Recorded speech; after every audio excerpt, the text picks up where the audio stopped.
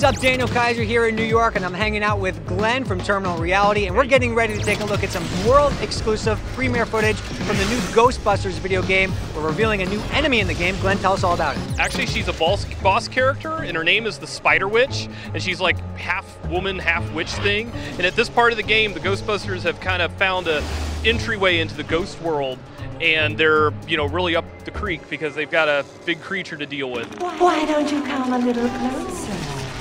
So, is the name indicative of what we might see? in she a spider form or what? Yes, she is in her spider form, and so she's got you know legs of a spider, body of a witch. She's got little minions that'll come after you. You'll see egg sacs, and her whole world is all webbed up. It's all claustrophobic and tight and creepy and scary. This is one of our scarier bosses.